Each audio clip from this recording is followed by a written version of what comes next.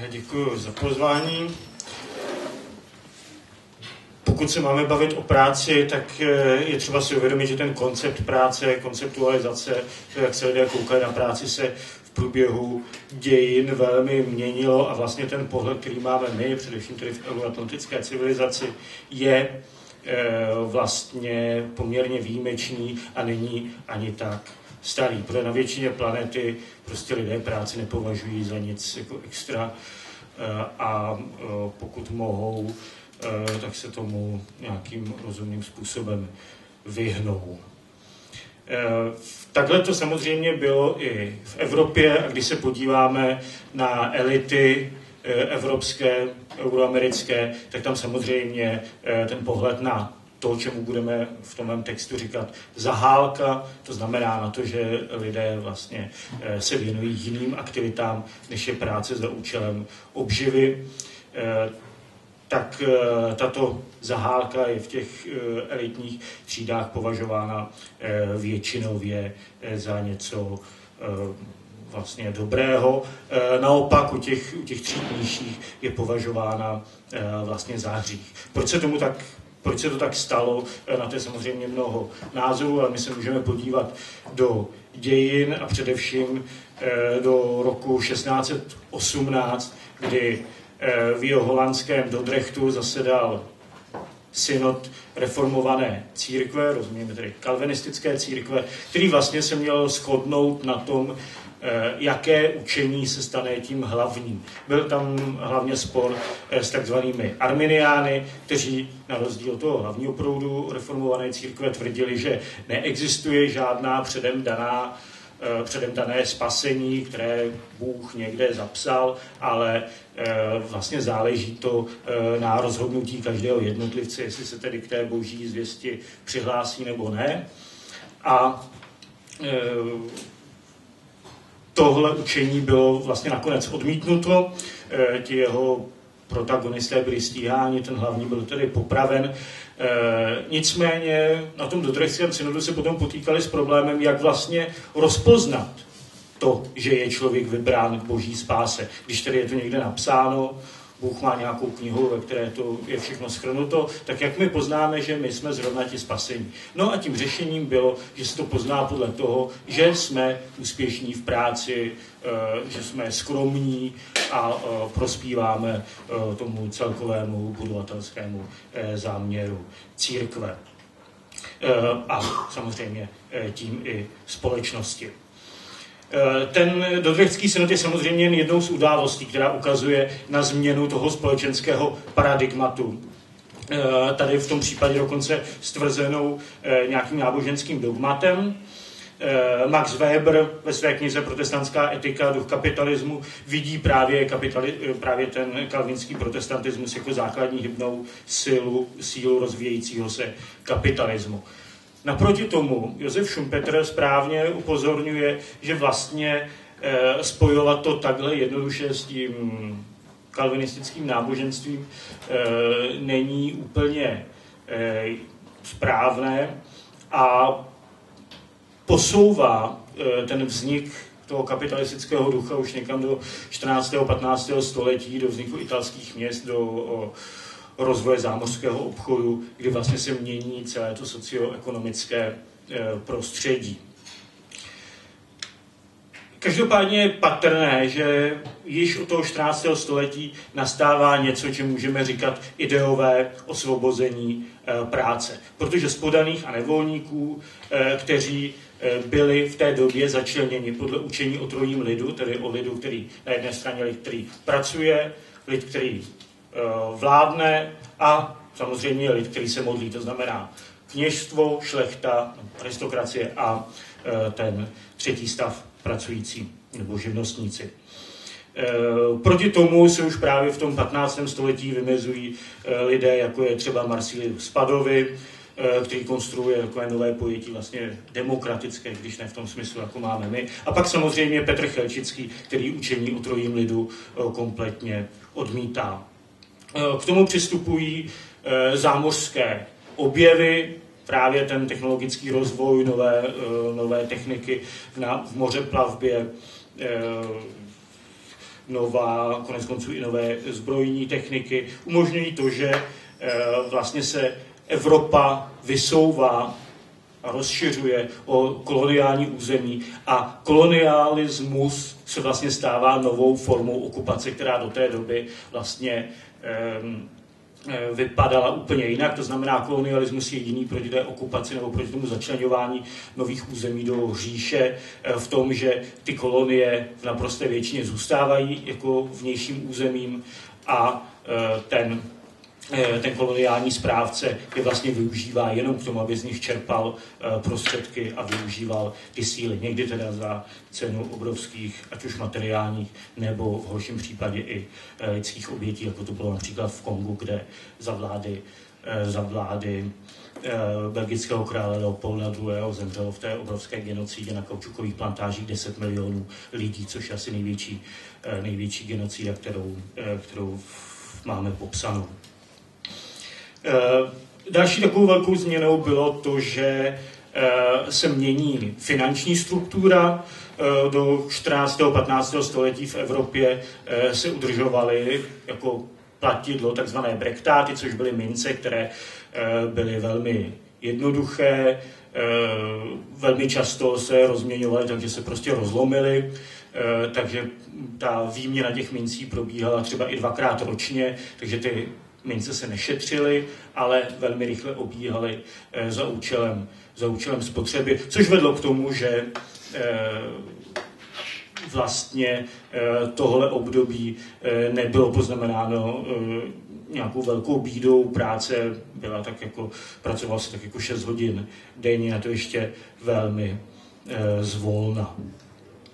Eh, nicméně právě jako nástup zlata, nástup zámořských objevů, eh, nástup nového kapitálu a možnosti eh, produkce najednou zvětšili potřebu té pracovní síly a navíc ještě k tomu vzrostl zájem akumulovat větší zisky, proto zlato bylo možno střádat, takže bylo možno vytvářet kapitálové bylo možné kumulovat kapitál, takže eh, začal narůstat tlak na to, aby lidé pracovali za čím méně peněz, čím, eh, čím dále větší čas. A vlastně od toho středověku vidíme narůstání té pracovní doby až vlastně do toho, kdy nastoupilo odborové hnutí, které si vymohlo tedy v 19. století nejprve 8-hodinovou pracovní dobu pro děti a posléze tedy 8-hodinovou pracovní dobu i pro dospělé mm, dětská práce pomalu byla eh, vytlačena. Eh,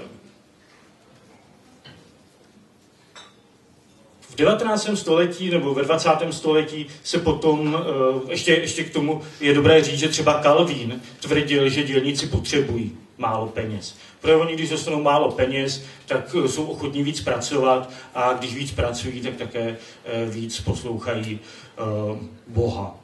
Takže eh, zase v tom, v tom eh, kalvinistickém náboženství skutečně ten, eh, ten tlak na tu skromnost a vyšší, vyšší pracovitost existoval. A na to navazují právě ve 20. století myslitelé, jako třeba i zmíněný Josef Schumpeter nebo Ayn Randova uh, s těmi teoriemi, že právě tvůrci toho společenského blaha jsou ti herové práce, což jsou kdo jiný než kapitalisté, kteří přebírají vlastně tu aktivitu, eh, inovace a eh, tím vlastně posouvají tu společnost dopředu. Schumpeter ještě přichází s tou teorií kreativní Eh, destruktivity, kdy vlastně ty nové a nové technologie likvidují ty staré a tím přináší, tím přináší pokrok. To, že to samozřejmě stojí obrovské náklady materiální, lidské, e, surovinové zdroje a tak, o tom, o tom se v té době e, nezmiňuje. Nicméně i tady mm, samozřejmě máme velkou pochybnost o tom, jestli to skutečně takhle je, protože když se podíváme, samozřejmě máme příklady e, jako je, jako jsou třeba manželé Benzovi eh, nebo Henry Ford, kteří skutečně jako na jedné straně byli těmi inovátory a na druhé straně byli eh, i těmi, kdo to dokázal zužitkovat v tom, mm, v tom výrobním procesu. Na druhé straně ale máme inovátory skutečně zásadního významu, jako třeba Diesla nebo Nikolu Teslu, kteří vlastně na těch svých vynálezech moc nezbohatli, i když ty jejich vynálezy změnili svět. A na třetí, ve třetí fázi máme ještě eh, podnikatele, jako je třeba Bill Gore, který eh, nevydělal na tom, že vymyslel teflonovou pánev, protože na tom vydělala, vydělala firma DuPont, ale on sám právě proto odešel a založil firmu Gore Associates, kde eh, vlastně tuhle technologii použil k tomu, aby vyráběl látky pro různé pro různou potřebu. My to známe především z Goretexu třeba někteří z nás, co to kupujeme a navíc ještě založil na, celou tu továrnu založil na tom, že vlastně ji řídí zaměstnanci eh, horizontálním způsobem, nejsou tam prostě v té firmě šéfové. Takže je otázka, jestli skutečně tím hnac, tou hnací silou uh, jsou, uh, je ta tvorba kapitálu a uh, ty dopředu seženoucí, dopředu seženoucí technologie, které ještě k tomu Eh, z velké části jsou vlastně jenom marketingovým prosazením eh, toho, co zrovna ta firma eh, vyrábí. Protože vidíme, že vlastně spousta těch lepších systémů byla potlačena a do, do velkého používání nebo masového používání se dostaly systémy, které jsou vlastně uh, horší jako klasickým beta VHS, že, u videa, uh, Vancouver motor proti normálnímu motoru nebo, nebo další a další technologie, o tom se potom můžeme když tak pobavit.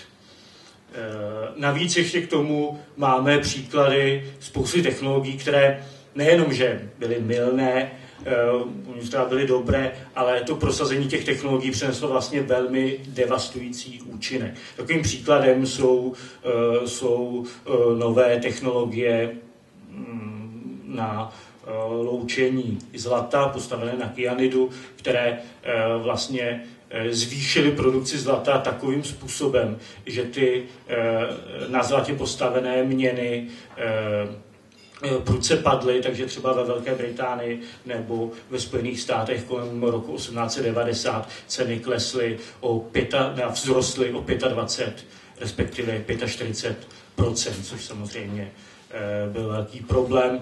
Eh, takovým asi nejznámějším a nejhorším příkladem inovace byla paradoxně čistička bavlny, která byla vyvinuta někdy kolem roku 1880 také a Eh,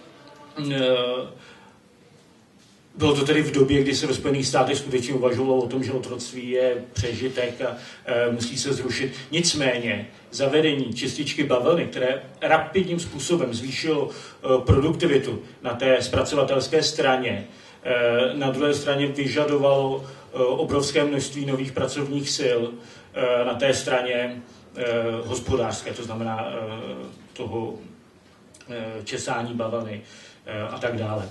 Takže eh, tam vlastně eh, se to otroctví utužilo a spousta amerických sociologů nebo, nebo historiků tvrdí, že právě vývoj čističky bavlny měl nakonec vedl k občanské válce ve Spojených státech. Je zajímavé, že my velmi často když se vede ta politická diskuze nebo i sociologická, filozofická, tak se mluví právě o té pracovitosti, jak je to důležité, abychom víc pracovali a jak ti, co vlastně jsou chudí, pracují e, málo a měli by pracovat víc. Jo, když se na to podíváme v realitě, e, nechci tady dělat kvíz, ale přece jenom, jako kdo si myslíte, že v zemích OECD, podle statistik OECD, stráví nejvíc času v práci? Jo, jak si zkuste typnout. Jako je to Mexiko. Jo. Mexičani stráví nejvíc času v práci. Za nimi jsou Korejci, následováni dalšími e, státy. E, nebudu vás zkoušet. E, v Evropské unii jsou lidmi, kteří jako zemí, kde e, stráví lidé nejvíc času v práci, řekové. Jo, řekové stráví nejvíc času v práci, nejméně času v práci stráví nizozemci a hned následování Němci. Jo.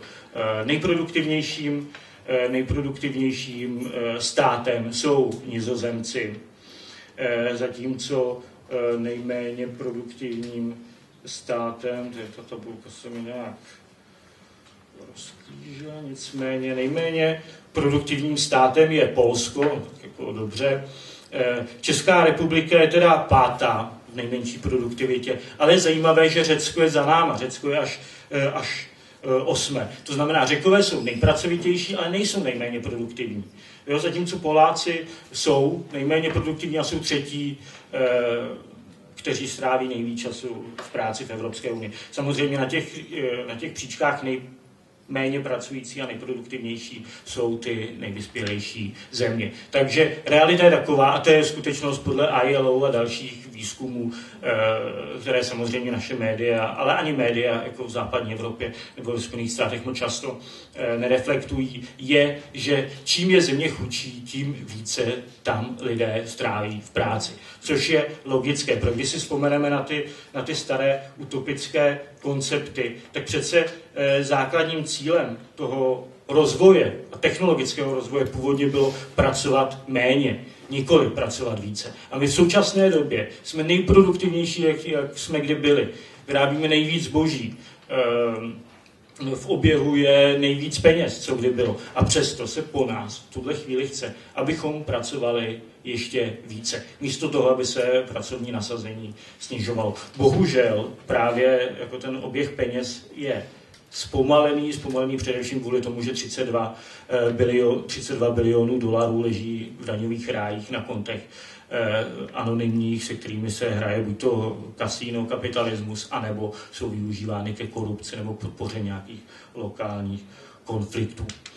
Eh, takže v tomhle smyslu samozřejmě, kdybychom, kdybychom využívali ten potenciál, který máme, tak bychom všude na světě mohli pracovat 4 hodiny denně a mít se Eh, s proměnutím jako prasata v žitě. Ovšem odmítneme-li eh, pracovní úspěch a hromadění statků jako základní paradigma našeho života, tak na čem vlastně ten život budeme budovat. Protože především v té euroamerické civilizaci jsme si skutečně zvykli na to, že práce se nám stala eh, jakýmsi centrem naší identity. A zkuste si to uvědomit, když se bavíme mezi sebou, eh, tak jedna z prvních otázek je, jako co děláš, kde pracuješ a tak. Když jezdíte po světě, tak většinou se vás lidé ptají na to, jestli máte manželku, kolik máte dětí, kolik máte bratrů a sester, jak se, jak se má vaše rodina eh, a tak podobně. Což jsou otázky, které zase moc neklademe, protože nám připadají, eh, připadají velmi intimní. Jenže to je právě jakoby to řešení. Když se zeptáte většiny lidí, Eh, jak by si představovali svůj život, tak jako naprostá většina eh, lidí je nebo naprostá většina lidí na téhle planetě považuje za štěstí, pokud se mohou stýkat s rodinou, s přáteli, mít nějaké láskyplné vztahy, žít v bezpečí a v míru. A tyto potřeby je, jak jsme si řekli, s využitím současných udržitelných technologií a postupů možno zajistit Eh, pro všechny už nyní. A to i při radikálním omezení pracovní eh, doby. Když se podíváme na jedno z děl Bertranda Russella, takový poněkud žertovný esej, který se jmenuje Chvála zahálky a napsal ve 30. letech a právě zamýšlí se už tehdy nad tímto problémem. Tak eh, tam uvádí jeden příklad. Představme si továrnu, ve které vyrábí třeba špendlíky, eh, které se prodávají tisíc kusů za pět korun. Jako další snižování ceny už na marketing špendlíků nemá prostě vůbec žádný vliv. Přesto je možné, že se přijde s technologií, která zdvojnásobí produkci špendlíků. A co teď s tím? A Bertrand Russell říká, my máme tu možnost, že teď teda ty lidé začnou pracovat o polovinu méně a stráví eh, tu polovinu nějakým eh, užitečným způsobem, právě tím, že ho budou trávit v té zahádce s rodinou, s přáteli a tak dále. Tím, že si budou číst nějaké knížky nebo koukat na nějaké filmy, to už je jejich věc. No, jenže bohužel my vidíme právě v těch posledních, eh, řekněme, 50, 40 letech, především těch 70. let, úplný opak. Jo? Když technologie začaly nastupovat, supermoderní technologie, tak my vidíme opak. Jo? Jako ti lidé e, pracují stále 8 hodin denně, jejich platy vlastně nerostou, ten růst platů se v 70. letech zastavil, ale rostou obrovské zisky. Jo. Takže ty peníze se akumulují několika málo rukou, to znamená, prostě ti lidé nejsou schopni efektivně utratit, eh, takže ta, eh, ta produkce se prostě na tom zadrhla a eh, ti lidé pracují čím dál víc a přitom produkují čím dál víc výrobků, ale oni sami se oni sami z toho mají velmi málo. Když se podíváme na nárůst, na nárůst Eh, platu manažerů. Já jsem byl ve Spojených státech v roce 96, kdy se o tom mluvilo, jako že to hrozný, protože tam platy byly eh, jako těch top super manažerů třeba 126 násobky eh, tehdejší průměrné mzdy nebo průměrné mzdy, mzdy v těch továrnách, eh, kteří, ve kterých pracovali. Eh, podle studie USA Today eh, Eh, které jsou založeny na, eh, na analýzách amerických eh, úřadů.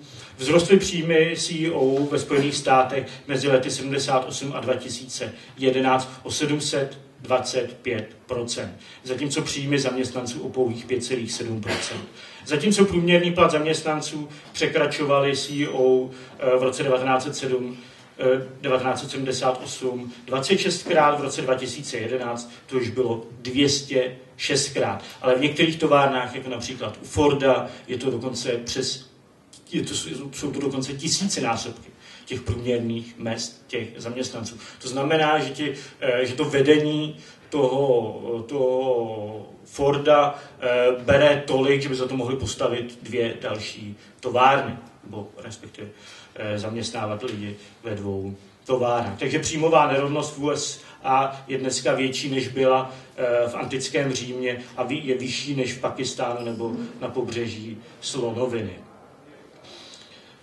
Um,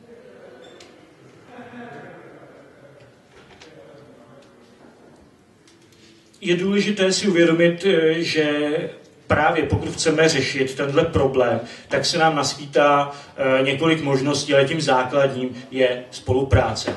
Jo, my jsme zatím právě tímhle systémem, e, tím systémem, který e, prosazovali třeba Schumpeter nebo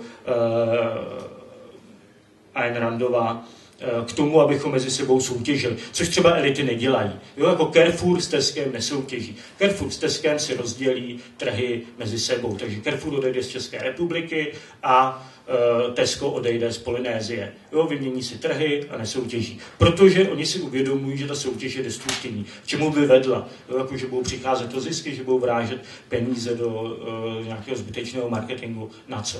Jo, stačí se domluvit, převezmeme si navzájem supermarkety, ani nemusíme nic stavět a e, zisky e, dál tečou. E, takže jako na té úrovni bychom měli spolupracovat e, také, to znamená, je možné, je možné Eh, a jako ta eh, zkušenost to ukazuje, eh, že továrny, vlastní zaměstnanci, zaměstnanci řídí výrobu. Samozřejmě samo o sobě řízení továren, zaměstnanci, družstevnictví nebo ty ezopy neřeší celkový problém, protože dnes máme spoustu družstev nebo, nebo těch zaměstnanci vlastněných firm, eh, které třeba dodávají zbrojnímu průmyslu. Eh, dodávají zbraně do Iráku nebo zbraňové systémy do Iráku. Ale eh, k tomu je potřeba, aby právě celá ta společnost jako na tom nějakým způsobem participovala. O tom psal již Ivan Illich ve své práci Nástroje pro konvivialitu, kde tedy jako tím jeho vydáným způsobem popisuje to, jak nás ten systém nutí právě k té konkurenci už od dětství až tedy po ty, po ty naše pracovní pozice, eh, kde jsme stavěni jeden proti druhému, místo toho, abychom spolupracovali a dokázali si najít eh, nějaký život, který vyhovuje nám. Abychom neřešili prostě ty problémy, které za nás vymyslel někdo jiný a my jsme teď postaveni do problému, eh, který kdybychom museli řešit, tak se vlastně sami ani nevymyslíme a nikdy ho řešit nebudeme, protože se nás prostě netýká a my ho řešit nechceme. My budeme řešit jenom ty problémy, které se nás týkají, týkají se nás jako komunit a ty budeme potom řešit. K tomu, abychom žili důstojně, bezpečí, bez potřeby vykořišťování a e, navzájem se likvidovali nebo likvidovali planetu, tak na to máme a e, teď jde jenom o to, a opravdu záleží teda jenom na nás, abychom to vyřešili. My to můžeme prostě dneska říct tomuhle systému dost a zítra začít spolupracovat. Jako nebylo by to poprvé, eh, bohužel jako hrozí to, že do tohohle režimu budeme postavení, aniž bychom si to vybrali, protože dojde eh, k nějaké situaci nepříjemné, která to udělá. A zakončím, protože jsme tady mluvili o, hodně o náboženství, tak zakončím citátem Eh, z Bible slovy Ježíše Nazareckého, který se k té práci staví naprosto jednoznačně. Podívejte se na polní lílie, jak rostou, nepracují a nepředou. A pravím vám, že ani Šalamun ve své nádheře nebyl tak oděn jako jeden z nich. Jestliže tedy Bůh tak obléká polní trávu, která tu dneska je a zítra bude hozena do pece, eh, neobleče tím spíše vás, malověrní. Díky.